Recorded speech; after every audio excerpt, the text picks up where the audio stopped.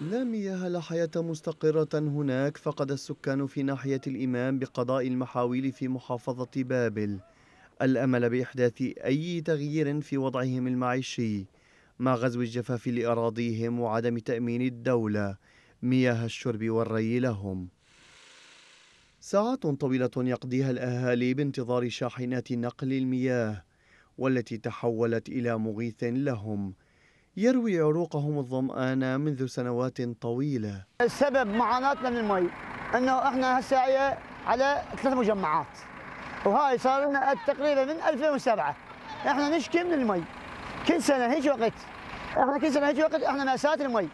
يعني إحنا البارحة مشترين المقطورة ب 25 دينار.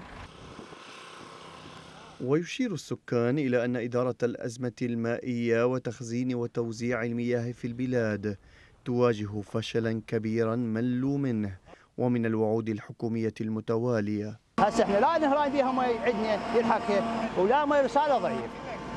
يعني ما في هاي النهران هسه النهران ما بيها مي ضعيف.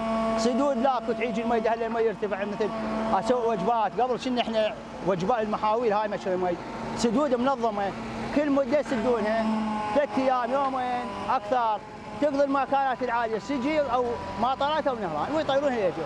إحنا عايشين هنا على قدرة الله ماكو مي وإحنا هنا ثروه سمكيه ماكو مي كلها يبست. فيعني عيشة صعبة هنا أنا هنا عندي بيتي مي ماكو أجيب مقطورات مال مي من النهار وأجي صار على هاي الحالة 20 يوم زين وين تروح؟ المن تروح؟ تشتكي المن هذه الشكوى لن تجد آذانا حكومية صاغية كما يؤكد سكان ناحية الإمام الذين يعتبرون أنفسهم انعكاسا لأزمة أكبر في العراق. هذا الذي ضاعت كميات هائلة من مياهه في الخليج العربي. في وقت كان يفترض تخزينها خلف سدود كبيرة فضلا عن فشل الأحزاب الحاكمة بالمطالبة بحصته من المياه من جيرانه ذلك بسبب تخوف تلك الأحزاب على مصالحها.